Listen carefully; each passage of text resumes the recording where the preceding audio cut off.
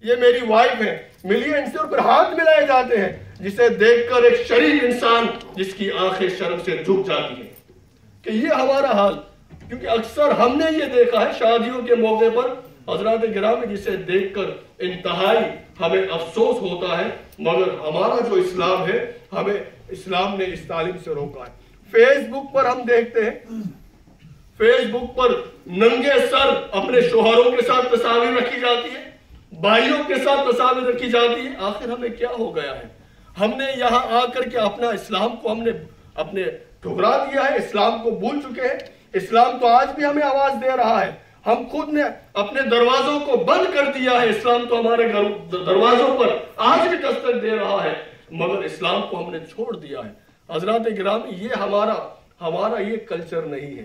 ہمارا کلچر تو یہی ہے کہ جو سیدہ فاطمہ تو زہرہ رضی اللہ تعالی عنہ کی تعلیم میرے مصطفیٰ نے فرمائی۔ سیدہ عائشہ صدیقہ رضی اللہ تعالی عنہ کی جو تعلیم، صدیق اکبر رضی اللہ تعالی عنہ نے جو فرمائی۔ حضرات گرامی کہ بی بی سیدہ فاطمہ تو زہرہ رضی اللہ تعالی عنہ کا تو وہ پردہ تھا۔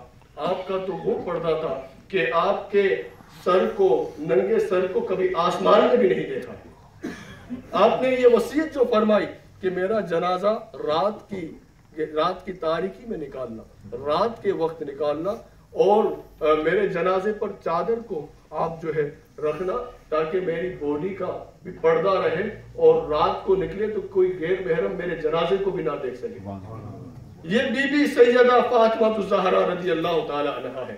حضرات گرامی اللہ تعالی ہمارے حالوں پر رحم فرمائے۔ باتیں تو بہت سی ہیں جو اس وقت شیئر کرنی ہے، مگر وقت اجازت نہیں دے رہا۔ بس ہمیں چاہیے کہ ہم ان پاکیزہ اور مقدس ہستیوں کی طرف دیکھتے ہوئے اپنے گھر کی تربیت کریں۔